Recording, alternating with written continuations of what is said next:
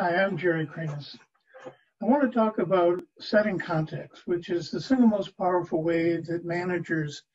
can fully leverage the potential of their team and achieve the best possible outcomes for their overall work together. Setting context involves a manager sharing the thinking and accountabilities of his own manager with his own subordinates so that they understand the bigger picture that they need to be supporting. Then the manager needs to share his own plan, his own thinking about achieving his own uh, accountabilities, and invite their best input to further improve upon his plan. Once he then decides on a plan and delegates their particular assignments, he needs to share with them